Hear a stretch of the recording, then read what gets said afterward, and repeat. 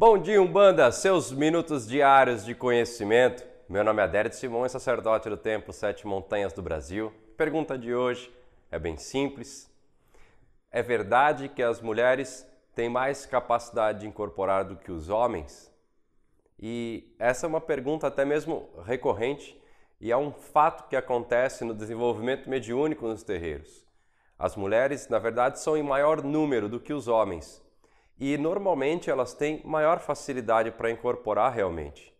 Não porque elas são mulheres, não pelo fato de ser mulher causa isso, mas é que os homens têm uma característica de acordo com a criação que é dada aos homens, ou seja, as características que um homem deve ter perante a sociedade, que é diferente da mulher. O homem ele não pode ser tão emotivo, até mesmo nos dias de hoje, alguns homens são criados assim, não ter tanta emoção demonstrado, ou seja, tanta capacidade de abrir a si mesmo, ou seja, transmitir aquilo que ele sente para o mundo que está fora dele.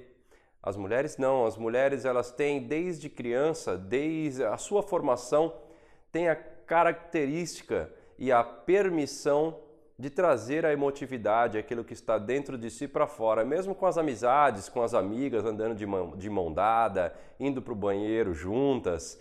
Isso demonstra uma capacidade de, de pôr para fora aquilo que está dentro de si. As mulheres, ao longo da sua criação, fazem isso normalmente. Os homens não, os homens têm que reprimir os homens têm que conter, os homens não podem chorar, o homem tem que ser forte e o homem tem que resolver as suas coisas por meio da racionalidade, do raciocínio, da razão e a emoção atrapalha. Isso é que o homem aprende. Isso, obviamente, possui reflexos na incorporação, na sua capacidade de desenvolver a sua mediunidade. Isso é óbvio. Quando o homem ele tem essa formação de não demonstrar aquilo que se encontra dentro de si, ele não consegue incorporar. Ele tem dificuldade de incorporar. Somente aquele que se abre à espiritualidade, que deixa o externo tomar conta daquilo que está interno, ou seja, um espírito, entrar no seu campo vibracional e passar as suas mensagens, é uma entrega. O homem não é acostumado a se entregar as coisas, e sim a dominar e a ter o controle.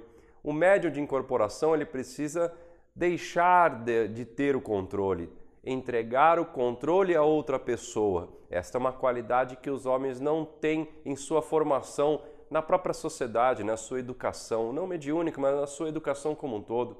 As mulheres não. As mulheres estão aptas a sair do controle, e não porque são escravas, mas porque entendem que isso é uma demonstração de sua própria essência como mulher, ou seja, a doação aos outros, a doação à vida e a entregar as suas emoções para que os outros também usufruam dessas emoções num campo espiritual, num campo familiar, ou seja, em todos os campos, em todos os ramos, já que o espiritual também está dentro da família. Essas foram as considerações de hoje, espero terem ter ajudado as pessoas, os nossos irmãos umbandistas e você que tem dificuldade na incorporação, veja se isso não tem a ver com a sua formação como pessoa, como você foi criado. Aquele que está sempre preso com as amarras sociais não consegue se libertar e assim tem dificuldade de desenvolver a sua mediunidade e de passar as mensagens do plano espiritual. Um grande abraço, até amanhã e tchau. Bate palma e abre a boca, macumbeira. É A sineta do céu bateu, Oxalá já diz que é hora.